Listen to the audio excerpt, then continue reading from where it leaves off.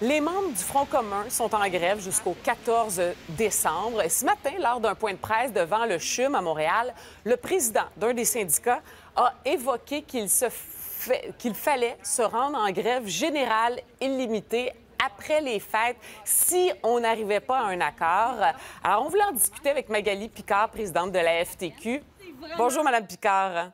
Bonjour, Madame Lauzon. Alors, est-ce que vous êtes d'accord euh, avec euh, ce monsieur? C'est là que nous sommes rendus. Si après les fêtes, on n'a rien, on n'a pas réussi, on pourrait déclencher la grève générale illimitée.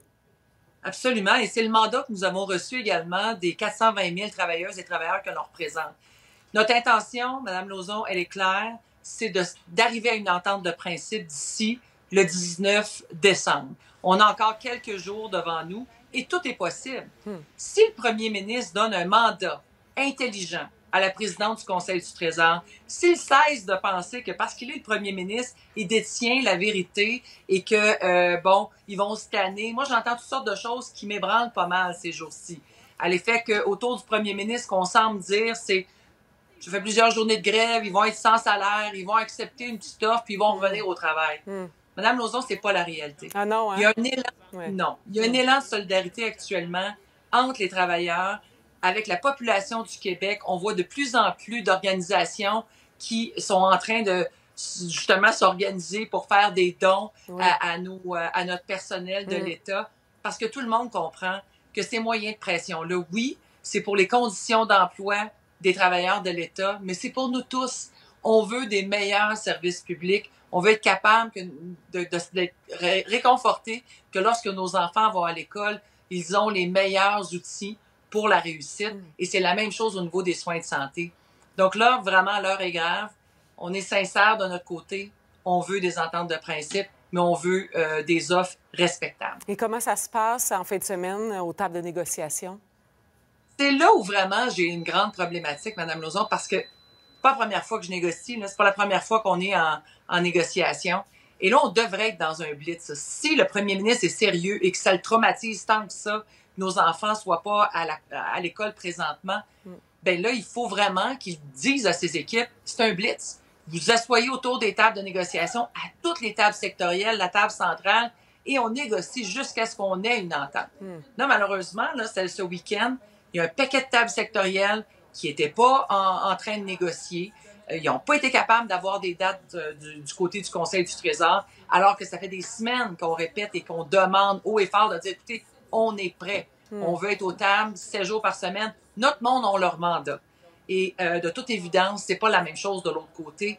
Alors là, vraiment, il, faut, il faut que ça change. Je vous le dis, là, cette semaine, il faut que nos gens soient aux tables de négociation du matin au soir faut être capable de s'entendre et de se mettre en mode transactionnel pour que dans les prochains jours, on puisse dire à notre monde et aux Québécois, bon, ben, on est arrivé à une entente de principe. Oui, parce que Mme Picard, avant le déclenchement de cette nouvelle grève de sept jours, vous étiez en entrevue avec notre collègue Paul Larocque et vous aviez dit J'ai espoir qu'une entente de principe soit conclue avant cette grève.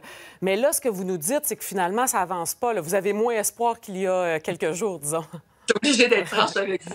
Je pensais vraiment, là, comme je vous dis, euh, on a été clair depuis longtemps et je croyais sincèrement que euh, le premier ministre, la ministre Lebel était pour nous appeler, pour dire, écoutez, là, euh, revenez, venez aux tables de négociation, on, va se parler, on va trouver une voie de passage.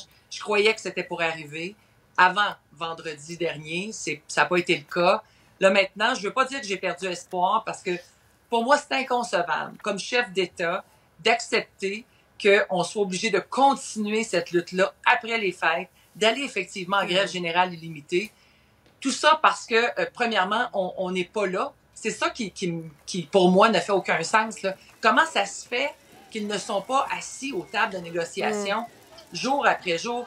J'ai jamais vu ça. Je vous le dis, là, je ne comprends pas la stratégie du gouvernement.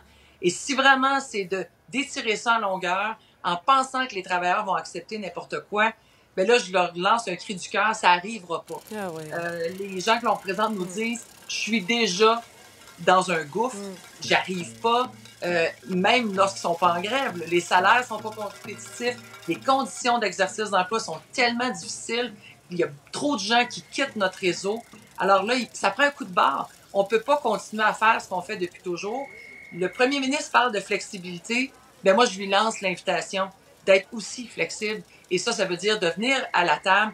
Et à la fin, là, Madame Lauzon, c'est pas dire les syndicats ont gagné, le, gouvernement a perdu ou vice-versa.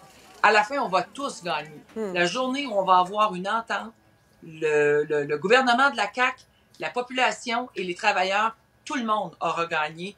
La journée où on va être capable de s'entendre et de s'assurer que tout le monde se sente respecté dans ce processus-là. Et si on parle des salaires, entre ce que vous demandez et ce qu'on offre, l'écart est de combien en ce moment? Ben, écoutez, premièrement, euh, au départ, le gouvernement parle toujours de 5 ans. Hein. on le voit là, vous, mm-hmm. avec votre écran. La nouvelle offre est à 12,7 sur 5 ans. faut pas oublier qu'on était au-delà de 20 ans, euh, au-delà de, au de 20% sur 5 ans. Alors là, ce qu'on dit, et nous, euh, contrairement au gouvernement, on négocie pas sur la place publique, mais ce qu'on dit aux tables de négociation, c'est qu'on est prêt à euh, évaluer le 5 ans. On est prêt, même le 4 ans, le 5 ans, on est, on est prêt à évaluer plus que 3 ans. Et pour ça, ben, il faut qu'il y ait des mesures pour s'assurer que le, le, risque ne sera pas sur le dos des travailleuses et travailleurs. Ça veut donc dire qu'il y ait à l'intérieur de, si on va au-delà de 3 ans, mais qu'il y ait des mesures pour protéger l'inflation. Alors là, euh, bon, c'est nouveau au niveau du gouvernement du Québec, ça se voit beaucoup ailleurs, mais qu'une formule d'IPC, d'indice des prix à la consommation, soit inclus à l'intérieur de la négociation. Mais tout ça, en ce qui nous concerne, ça se passe aux tables de négociation. Mm. Et les gens qui sont là de notre côté ont tout ce qu'il faut pour être capables de négocier et de s'entendre avec le gouvernement. On parle beaucoup du 19 décembre. Pouvez-vous nous expliquer pourquoi là, on parle de cette date? Parce que les quatre grands syndicats, vous savez, la CSN, la PTS, la CSQ et la FTQ, mm. on a tous nos instances. Nos instances, c'est quoi? Ce sont de grands rassemblements avec toutes nos équipes de négociation, nos gens qui sont les porte-parole des travailleuses et travailleurs. On se rend compte. Nous, à la FTQ, c'est le 19 décembre. D'autres, c'est le 18. D'autres, c'est 18 et 19. Alors vraiment, c'est un moment extrêmement important. Et c'est là où on espère être capable de dire nous avons une entente de ah principe. Sinon, alors c'est là où on va établir ensemble la prochaine étape. Est-ce que ça continuera pendant la période des fêtes? Est-ce qu'on va remettre ça, prendre une pause et dire on reprend après les fêtes et on sera en grève générale illimitée?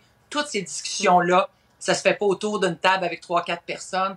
Ça se fait en respect de nos euh, instances et c'est ce que nous allons vivre les 18 et 19 décembre prochains. Donc, c'est pour ça l'urgence. Ben, c'est pour ça. Tant qu'à moi, on n'est pas obligé d'attendre au 18 au soir pour s'entendre. On pourrait très bien faire ça dans les prochains jours. Parce que même si on a l'air extrêmement loin, vous savez, je, regarde, je lis tout ce, que, tout ce qui nous concerne ces jours-ci. Puis pour certains analystes, on, semble être vraiment encore extrêmement loin. C'est ça la négociation. Souvent, à la fin, il y a un blitz et dans les dernières heures, ce qui nous paraissait des positions extrêmes finissent par s'amalgamer où on trouve une voie de passage. Donc, il n'y a rien de différent cette fois-ci. Tout ce qu'on a besoin, c'est de la bonne foi et beaucoup de rigueur et de temps de la part du côté patronal qui, malheureusement, semble pas être autant pressé de revenir à la normale que euh, de notre côté. Hmm. Magali Picard, merci d'avoir pris le temps. Merci à vous, Madame Lozon. Merci infiniment. Au revoir.